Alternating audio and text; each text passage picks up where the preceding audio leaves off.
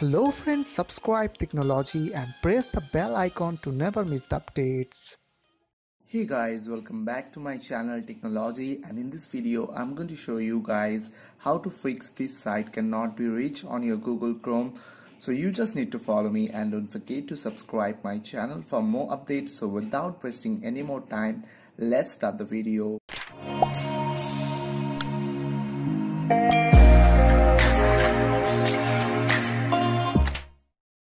So I will show you the two method by which you can solve this uh, issue. So just uh, go to your start menu and type your CMD and right click on command prompt and click on run as administrator.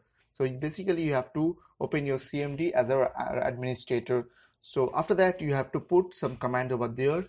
You have to put here ipconfig slash flush DNS and after that put here ipconfig space slash renew. Okay? So after done you have to reload this page. So still is not working. So now i'll show you my second method. So just you need to open your run box and after that type here cp uh, ncpa.cpl and press enter from your keyboard.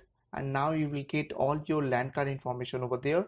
So right click on your main LAN card uh, just right click over there and click on properties. And here you will get uh, two option IPv4 and IPv6 so in my case I'm using IPv4 so I check this IPv4 and, uh, uncheck this IPv6 so if you are using IPv6 then you have to check this IPv4 6 okay? So uh, just double click on IPv4 and after that you have to check this option. It's called use a following DNS server.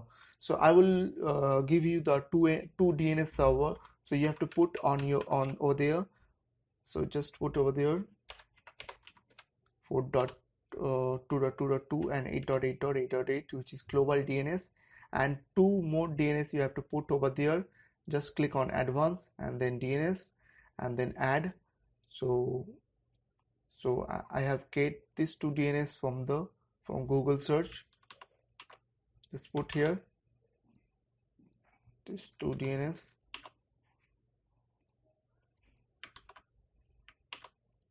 and after that you have to put your ISP DNS so in my case it is 7 172 18 16 0.1 sorry 18 0.1 so I forget my ISP DNS so here is my ISP DNS so I will choose it uh, for fast and after that click on OK and then OK. Then click on OK. And now let me refresh this page. So now it's working as you can see.